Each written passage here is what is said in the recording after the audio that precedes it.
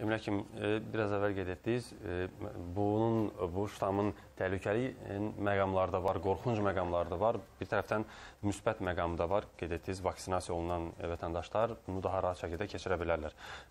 Daha bir qorxunc məqam bir müddət əvvəl siz də inanım izləmisiniz. Hindistanda yadınızdadsa qara göbələk səhv etmirəmsə belə bir deməli bu göbələk virus, göbələk virus gedir səhv etmirəmsə yayılmışdı və görüntüləri görən həm dünya ictimaiyyəti həm də Azərbaycanda müzakirə predmetinə çevrilmişdi ki, bu delta ştamına, yəni o vaxt Hindistan ştamı deyirlər, yoluxandan sonra artıq belə iltihabi proseslər baş verir və sözün əsl mənasında qorxunc görüntülər idi.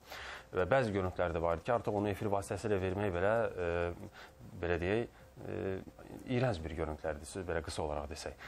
E, bu e, deməli göbələyin bu delta ştamı ilə əlaqəli olub olmamasını nədə bilmək olar? Ümumiyyətlə əlaqəsi varmı bunun?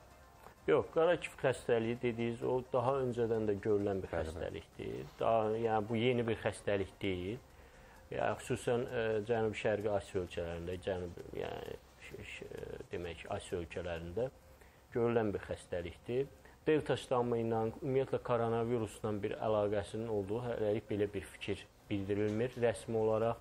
Yəni olacağında zənn eləmirəm, tamamilə fərqli bir xəstəlikdir.